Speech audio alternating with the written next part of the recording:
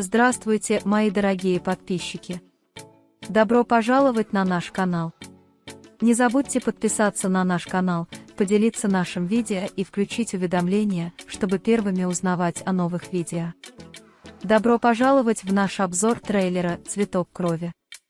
Дилан и Бэрон испытали просветление от тети, которую встретили по дороге. Посмотрим, сколько времени это займет. Тем не менее, я приглашаю тех, кто говорит, что Баран и Дилан не разведутся, кнопки лайк. Я думаю, что я не одинок. Любовники не уходят, не так ли? Переходим к трейлеру. Когда Баран и Дилан возвращаются домой, их машина ломается. Они входят в первую хижину, которую находят на пути.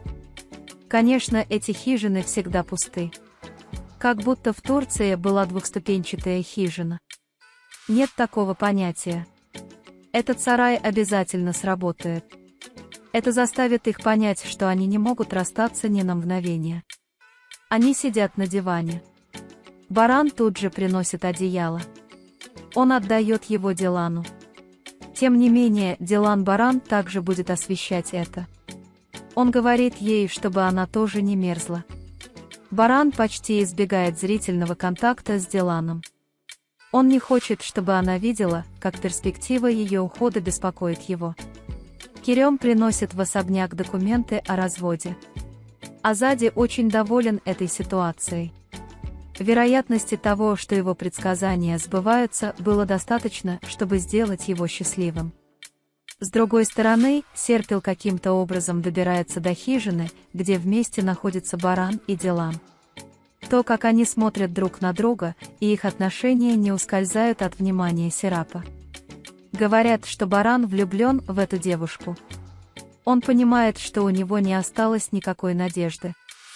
Фераджи страдает от любви. Когда Гуль достает кольцо и передает его Ферату, он почти падает в обморок.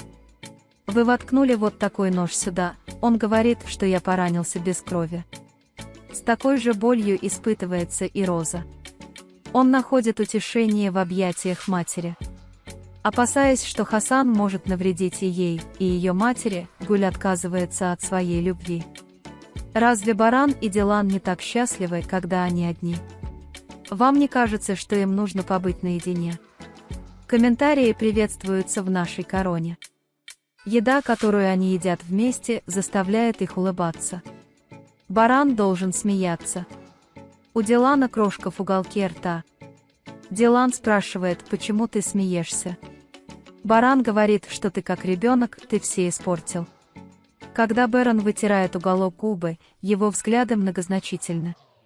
Дилан протягивает барану яблоко, которое тетя дала ему после обеда. Если вы не едите десерт после ужина, уровень сахара в крови упадет. Бэрон очень удивлен, что Дилан заметил это. Баран разряжает яблоко пополам.